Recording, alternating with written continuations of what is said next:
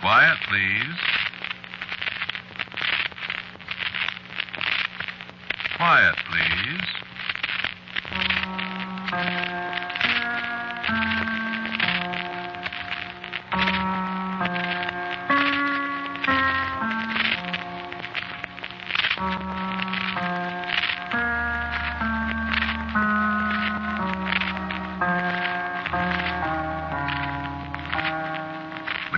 Broadcasting System presents Quiet Please, which is written and directed by Wyllis Cooper and features Ernest Chappell. Quiet Please for tonight is called Camera Obscura.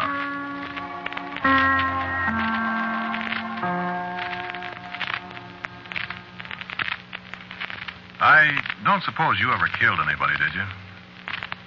I didn't think you had. Funny, though, you can't tell, you know. Murderers very seldom look like murderers, and there's lots more of them around you have any idea. I know a fellow, a little squinched up, wheezing gizmo. He's a carpenter, lives on Berendo Street down in L.A.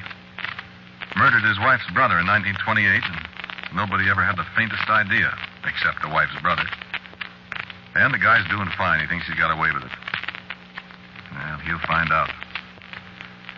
Like that woman in Alameda that killed her husband with that stuff you can buy at any drugstore and never have a clerk raise an eyebrow at you? No, there's no such thing as getting away with murder, friend. Believe me. And for my money, walking up the 13 steps and standing on a trap door with nine turns of a hangman's knot rubbing against your left ear, or sitting in a chair smelling burnt almonds with a lot of scared faces staring at you through a little window, or, or even the hot squat itself. Believe me, any of those legit ways of paying off for murder is pie compared to what you're going to get if you let it ride. You're sure you never killed anybody, huh? Well, you better be. I know. Believe me, I know. I killed Philip D. Vandervoort on September 29th, 1928. I was never arrested. I was never suspected. But, no, I'm not going to tell you how I killed him. I'm not running a school for murderers. And anyway, if you're planning on murdering somebody, you got your own ideas on how you want to do it. The only thing is, I bet you a quarter when you get done listening to me, you'll change your mind. You see. The man said he was going to call my story Camera Obscura. I suppose maybe that puzzles you a little bit. Not everybody knows what a camera obscura is, but practically everybody here in Santa Monica knows. Biggest camera obscura in the world's right here, down at the foot of Santa Monica Boulevard in the little park that runs along the top of the Palisades. It's a little green building, probably 20 feet high, practically circular, maybe 20 feet in diameter. And up on the top, in a little kind of cupola, is a lens, like a camera lens, only bigger. And some kind of mirror arrangement in there with it, and there's a big round table that almost fills the building, white top on it. And the image the lens picks up is reflected down under the table, so it's uh, like a Technicolor movie of whatever's going on outside. There's a wheel, like a ship's steering wheel that you turn to you turn the lens with it, turn it around so you can point it out towards the bay or up the street or anywhere. That's a cute little gizmo. Tourists have been getting a kick out of it for I don't know how many years. Ask anybody that's ever been in Santa Monica. Everybody's seen it, and an awful lot of people have been in it. And that's the Camera Obscura, a harmless little green building in a park in the sunshine, and black as a murderer's heart inside. And a miniature world lying flat on a table in there. Go see it sometime. You'll get a bang out of it, too. Even if you don't see what I saw.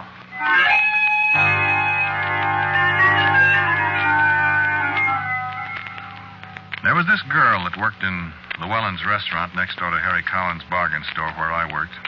Now I've forgotten her name, Kate or Mary or Joanne or something. Just to show you. That morning I went next door for a cup of what Llewellyn claims is coffee. Nobody in there but this girl, this waitress, Mary or Kate or whatever her name was. She'd been crying. I said, What's the matter with you, kid? Nothing. A cup of coffee. What's the matter, kid? Oh, nothing. Sigh. you seen Phil Vandervoort the last couple of days? I looked up at her, and the tears started out of her eyes again, and I said, and I was telling the truth. I said, not since night before last. Why? I said. Where'd you see him? Why, down to the PE station down the street. What's the matter? Did he run out on you? Oh, Si. Did you know? What do you mean? Did he? He's gone. You sure? I knew it when I gave him the money. I knew it. I knew it. What did you do? Did you give him money? Oh, Si, don't tell anybody, will you? Please don't. Well, I won't, but He said he needed $200 to pay a man for something, and the, the banks were closed, and he couldn't get any money, and he needed it so bad. you mean you gave him 200 bucks? I borrowed it from Llewellyn. I told him I'd give it back to him in the morning. I had $240 I'd saved up, and... Oh, what am I going to do? Wait a minute. Wait a minute, I said. So this was where the money came from. Well, wait a minute, I said. You mean you borrowed 200 bucks from the Llewellyn to give to Phil, and now he's gone and you got to dig it yourself? Saved and saved and saved, Si, and now I... Ain't that fine? Ain't that fine? How come you did it? Couldn't you have borrowed it from somebody else, for God's sakes? He... He... We was going to get married, Si. Well, you sap. 200 bucks, you sap. I know it, I know it. But what am I going to do? I guess pay up. You said anything to the police? Oh, no. You going to? I don't know. Should I? No, I can't. Why not? Well, I don't know if he really ran out on me, but You were going to marry him, huh?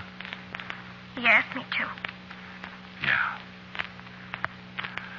Well, Oh, Si, don't say anything about it to anybody, will you? no, I won't say anything. I won't say anything. If, if he's really gone, mm-hmm. He's gone, all right. what should I do? Well, you can go to the cops if you want to, but, but if I was you, you'd get an awful lot of publicity, you know. That worth 200 bucks to you? I know it. I don't know what to do. Well, I gotta beat it. Harry will be screaming for me. Here, you got change for a $10 bill? Yeah, I guess so. Oh, ten. Fifty. Two. Three, four, five, five, ten. See what I mean? She didn't have the faintest idea that that was one of the $10 bills she gave to Phil Vandervoort a couple of nights ago.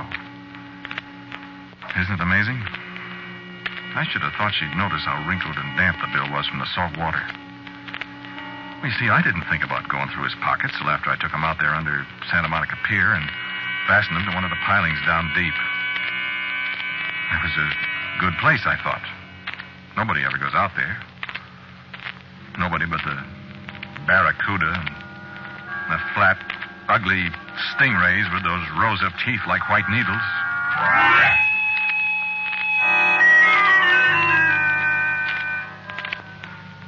Kind of left the camera obscura sitting out there on the Palisades all by itself, didn't we? Nah, we'll get back there. I'll say we will. It was funny about Phil Vandervoort. He was one of those fellas you see around town, you never get to know him. But you see him, and he's like a bus stop sign or one of the kids that sells the Outlook and the Express on the corner across the street from the California Bank. You know, he's there, and you never notice him. Never notice him when he disappears, either. It's like that in California quite a lot. So Philip D. Vandervoort sort of faded out. And practically the only people in Santa Monica that thought about him was me and the babe in Llewellyn's restaurant. And she didn't know I thought him at all.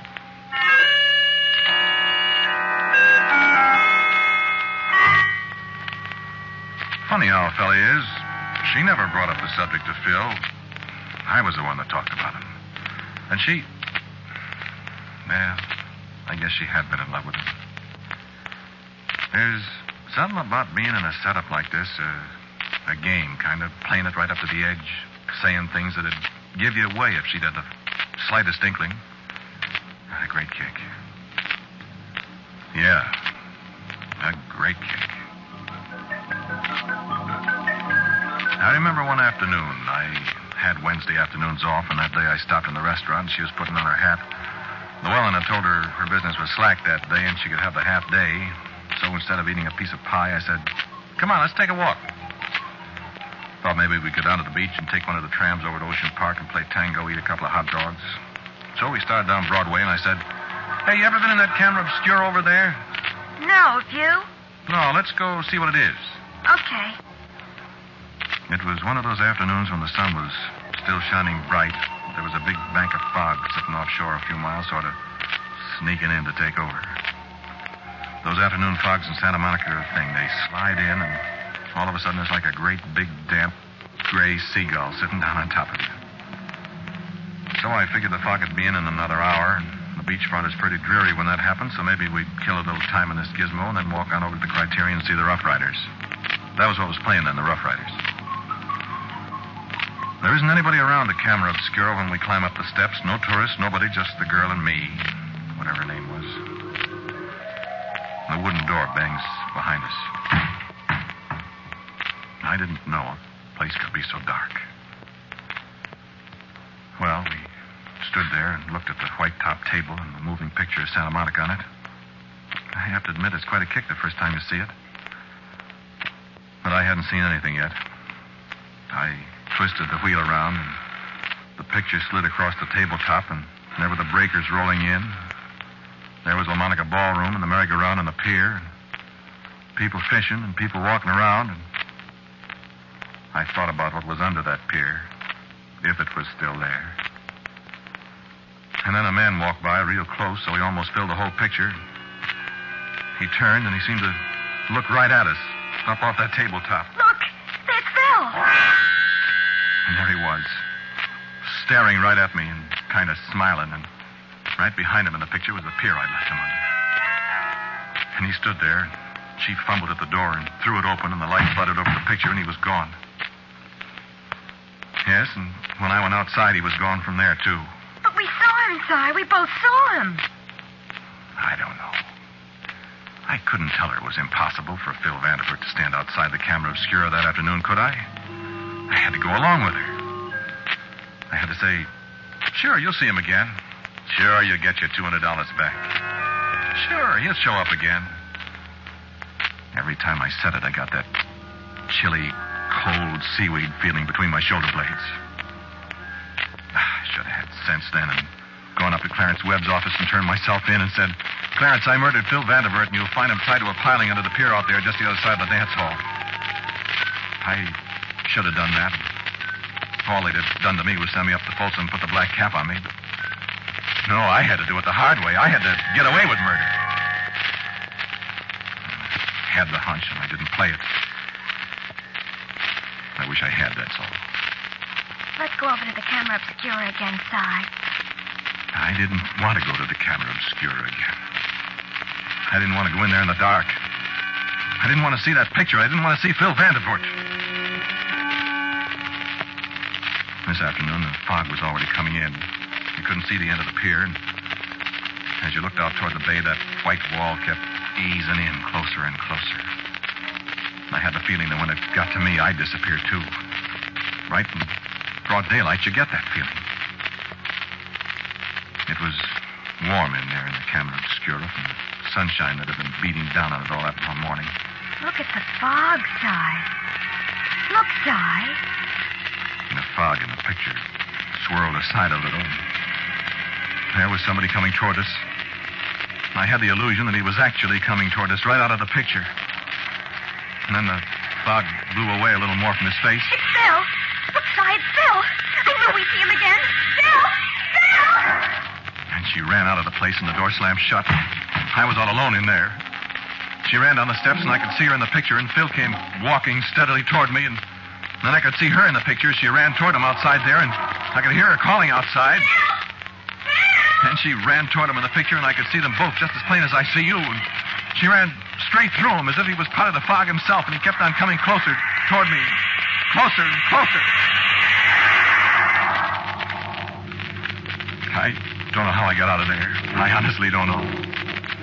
I remember I couldn't find the door in the dark, and when I finally did get out, my hands were all full of splinters from pounding on the walls, and there was a gash over my eye where I fell down the stairs, and I've never been so scared in my life. I mean to say I had never been so scared in my life. You see, something tripped me as I opened the door. Something caught my ankle and threw me.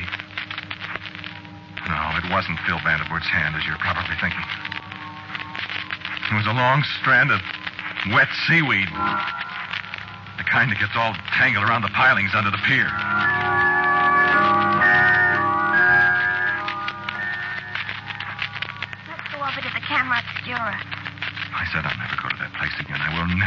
That place again. I'm going anyway.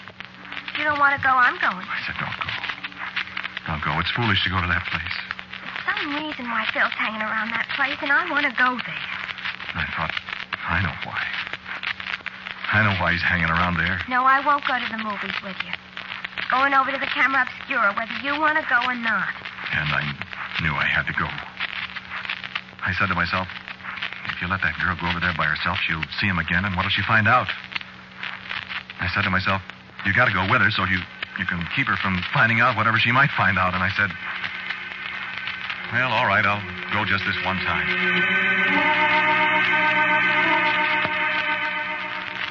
There wasn't any fog this time. It was a beautiful, bright day. There was just the two of us. Or I should say the three of us. Yeah, we saw him again. This time was the payoff as far as she was concerned. No, I'll tell you about it. There wasn't anything wrong with the picture as long as we had the lens aimed toward town. She turned the wheel slowly, and the picture flowed past on the table. Up northward toward the Miramar Hotel, down Ocean Boulevard with the palm trees in front of the little real estate offices. And then we were looking up Broadway, and I could see Harry Cowan walk out of the store and into Llewellyn's. Then the gas station came into view, and we looked down Ocean Boulevard the other way, and then the rustic fence at the edge of the Palisades, and the spires of the dance hall on the pier swam across the board. And there was Phil leaning against a palm tree not 20 feet away, it seemed. There he is. And just as if he'd heard her, he looked up at us and grinned. He lifted his hand and beckoned. Again, I had that curious feeling that he was real. He was three dimensional there in the picture. And she opened the door and went out. But she came right back in. Why, there's nobody there. I could have told her I knew it. There's nobody out there. There he was on the table, grinning at us. And he said something. I could see his lips move. What did he say? I didn't hear anything. I'm going to look again. She opened the door. And Phil's lips moved again. And I could read his lips. Anybody could read that word. Try it sometime. He said, Murderer. Di, I'm scared. There isn't anybody there. And the little figure in the picture smiled again. And he raised his hand and pointed straight at me, and I could see his lips move again. And I knew she had read his lips, too. He said it again. Murderer. Stop that. I saw what he said. I saw it. Now I know. Now I know why we can't see him out there. He's haunting you.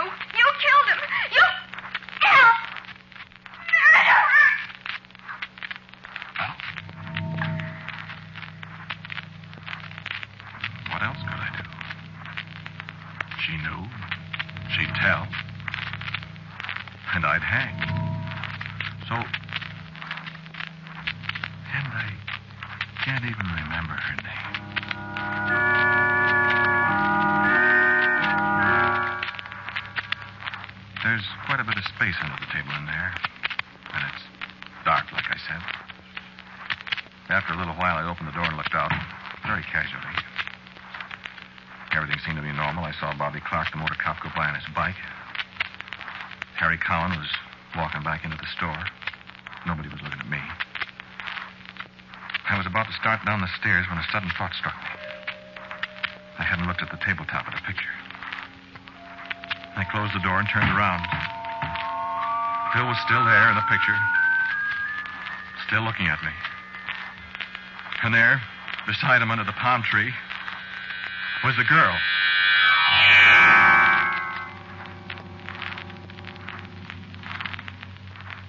Not much left of the story now.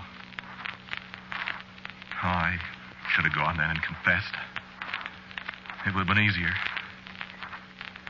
But, well, I knew nobody'd ever find Phil. And I didn't want anybody to find her.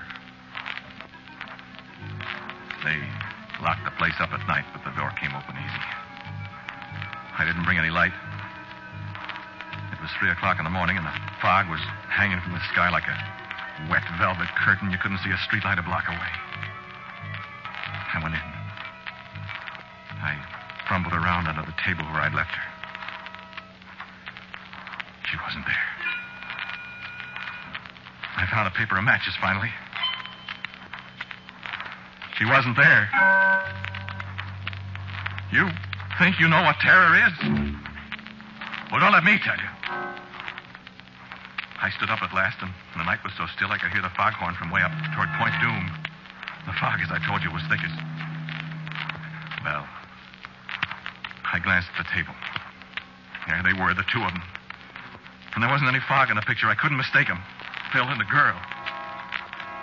And together they raised their hands and they beckoned to me. I knew I couldn't move. But I opened the door. I went down the steps into the fog. There was just one tiny spark of hope in the back of my mind, just one tiny spark. I knew they wouldn't be there. But they were. And they turned and started away. And I followed him through the fog.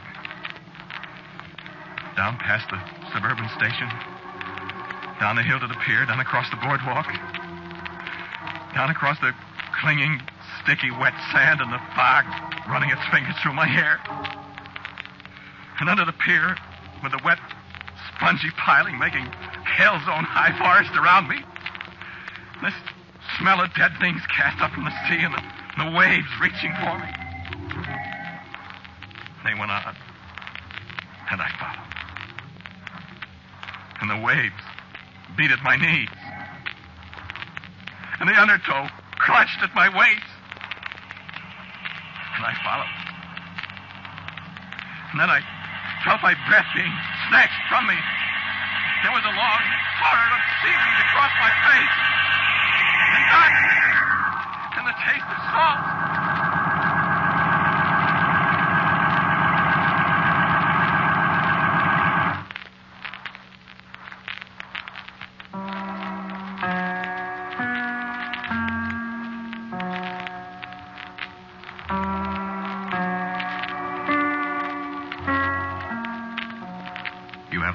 Quiet Please, which is written and directed by Wyllis Cooper. The man who spoke to you was Ernest Chappell. And the girl was played by Charita Bauer. As usual, the music for Quiet Please is composed and played by Gene Carrazzo. And now, for a word about next week's Quiet Please, here is our writer-director, Wyllis Cooper.